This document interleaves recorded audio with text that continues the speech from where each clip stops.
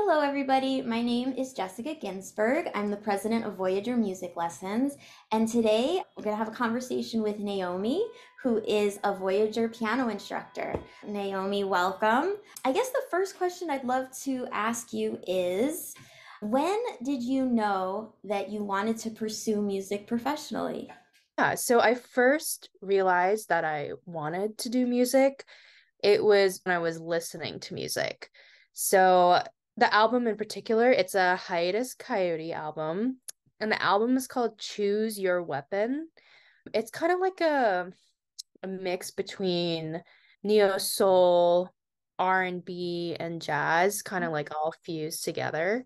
Um, but I was in high school and I was listening to it and I just thought to myself like, wow, it would be so cool if I could like go on tour with this band. I started with classical when I was 5, so you know, at the age of 5, I really didn't want to be at the piano. I kind of just mm. wanted to play and, you know, be a 5-year-old. Yeah.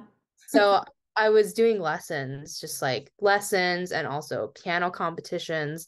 And I kind of experienced like burnout, I guess, at a really mm-hmm. early age. But then I, you know, joined jazz band in middle school and I was like, okay, this is a little fun. And then I went to a arts high school. I chose to be like a world jazz studies major. So I stuck with it, stuck with the piano and yeah, it really wasn't until I listened to that album for the first time that I was like, okay, music like this exists oh, I really love this and I want to do this. It sounds like when you started lessons when you were so young at five, there were things that you didn't like about the lessons, right? And something that we talk a lot about at Voyager is making sure that not only is the student learning, but that they're having fun. So I would love to hear what you didn't like, perhaps, about the way you were being taught and how you have shaped your teaching to make it the way you sort of wish that it was for you? A lot of the teaching methods I experienced were more like a mix between like lecturing, but also like very direct learning. So I really felt like I didn't have like a sense of autonomy over my musicianship because I guess with classical repertoire, you have to learn the notes and then you have to learn the interpretations. And a lot of it was just learning the interpretations of, um, you know, other pianists that have played it before me. And that was very strict. That was one of the aspects that I maybe didn't enjoy growing up with lessons. And then another one was I really felt like goals that were given to me. So emphasis on given to me, not goals that I formed myself. They weren't tangible. And so that made it feel really overwhelming. And, you know, I got burnt out really fast because I was expected to learn so much. I just, you know, I really felt like I needed to sort of change the way I view practicing and learning music, but in a more holistic way. Um, and that's kind of what I preach today with my teaching philosophy. I really believe in maintaining balance between instructor and student centered approach. Um, that way, the student does feel a sense of responsibility and the student does feel a sense of autonomy. You know, that this is something that they want to do and that they're able to to learn on their own. I can lead you to a place where you might feel you learn the best. And i think it's important that also the student is able to just kind of like catch on to that a little bit. And mm-hmm. um and i find that that increases student engagement more actually. A part of it is also being able to trust that your student is able to catch on and understand the concept because oftentimes it really is just having to sit with sit with it for a second that also helps build confidence in your students too when you are able to trust them um, and you know in turn you might notice that they might want to practice more or they you know want to show that they are able to learn what you give them but also learn a little bit more it just kind of gives them like a little boost like a little confidence yeah boost. I know that one of your specialties is working with students who have neuro- neurodiversity.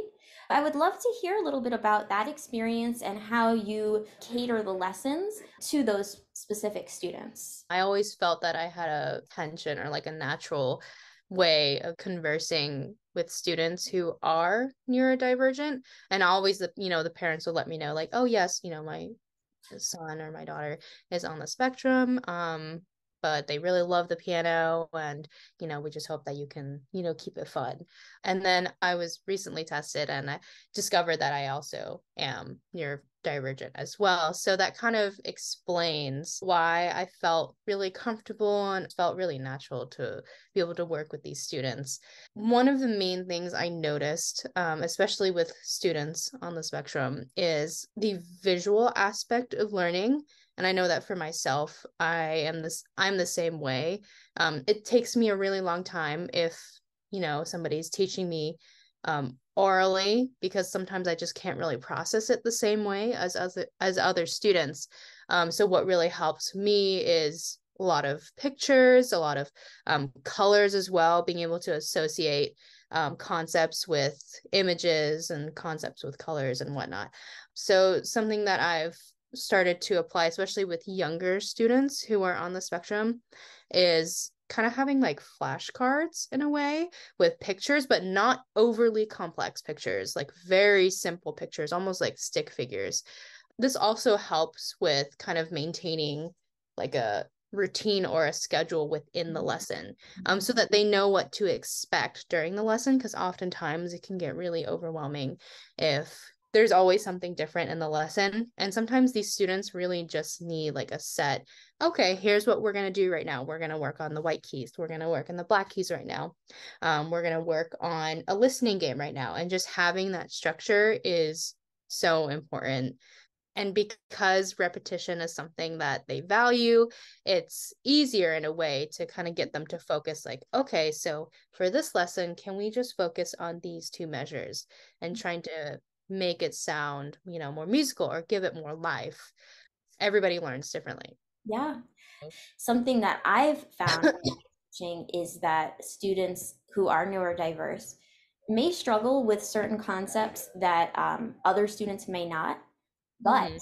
they always excel in something that a lot of other students struggle with you know and it's just about how they learn you know you saying that you also um, have some neurodiversity is something that I hear a lot from teachers who um, identify and teach really well in that world. I have some teachers who have ADHD and mm-hmm. they teach students with ADHD so, so well because they understand the triggers, they understand what's going to get them distracted and how to get them back um, and all of that. I think that is just so, so wonderful. Maybe one last question would be Are you working on any projects um, outside of teaching that you would like to talk about? Yes, I am. So I've recently been um, composing for a new instrumentation for my group.